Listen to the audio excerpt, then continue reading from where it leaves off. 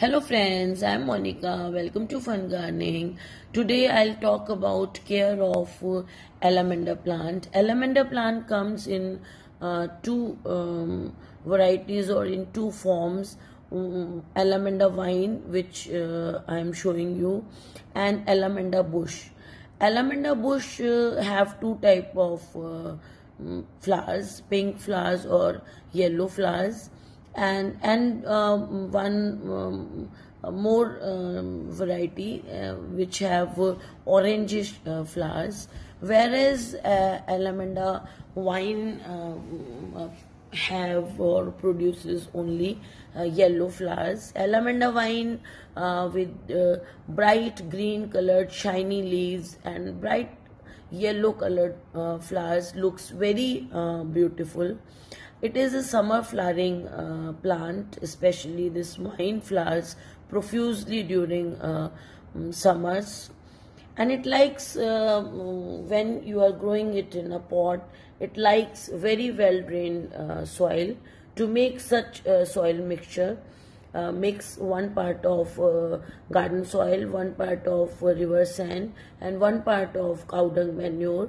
Add one handful of uh, neem cake powder and two one or two handfuls of uh, uh, bone meal. Bone meal contains calcium and phosphorus which is uh, very good for uh, which helps um, this plant to produce uh, larger number of flowers and add one teaspoon of any fungicide powder uh, to protect your plant from any fungal infection.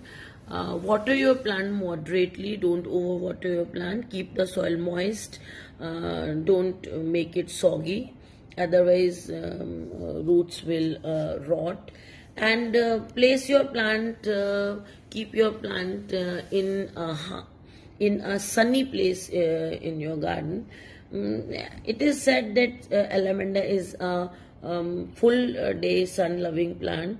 But according to my experience uh, uh, place it in any uh, um, such a place in your garden where it can uh, receive half day sun which is the best situation for your plant. Otherwise in full uh, sun um, position or situation or place your plant uh, will uh, your, will show burning of leaves especially in hot areas like ours.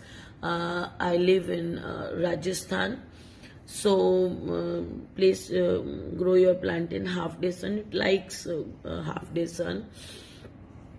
And as i said it is a summer flowering plant so after winters uh, in February, give a good amount of fertilizer, at least 200 uh, to 300 grams of uh, cow dung manure or um, vermicompost uh, to your plant along with uh, one or two handfuls of uh, bone meal powder and one handful of neem cake powder.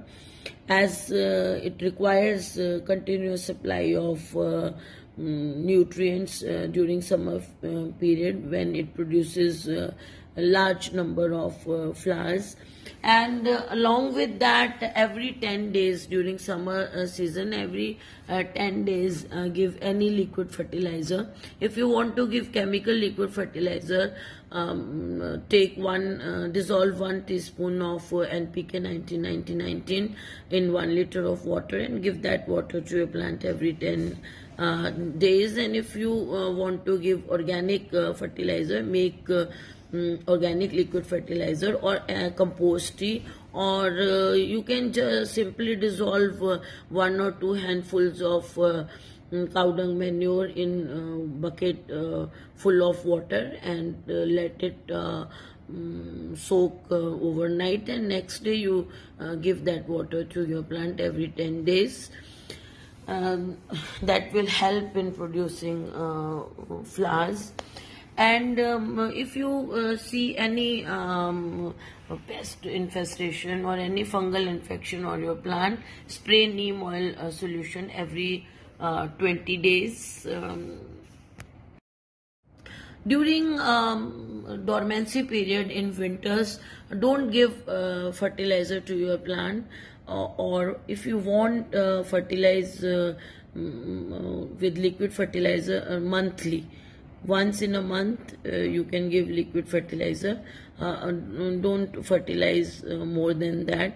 Uh, otherwise during actually during mm, dormancy period all the physiological reactions of um, a plant stop or they slow down so plant uh, does not require much fertilizer and if you uh, still give fertilizer to plant uh, salt formation occurs in uh, soil and that will uh, result in uh, death of your plant or they kill your plant. So don't over fertilize don't give fertilizer during winter season if you want your plant to be alive.